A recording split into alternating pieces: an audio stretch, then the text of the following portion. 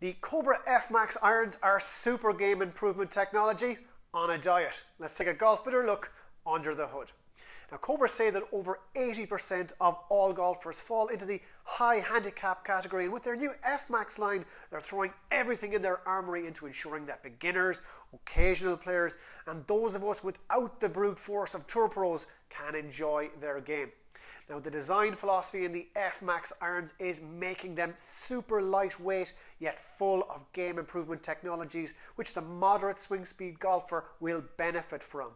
Now, weight is saved with much lighter than standard shafts, and coupled with slightly thicker and very tactile Lamkin grips, they inspire confidence. The F Max iron club heads as you would expect, have a deep undercut cavity with the centre of gravity low and back to create high launch with plenty of flex for distance. There's loads of offset too, which make them super easy to hit. And as with all the F-Max family, there's a draw bias weighting to prevent the dreaded weak fade.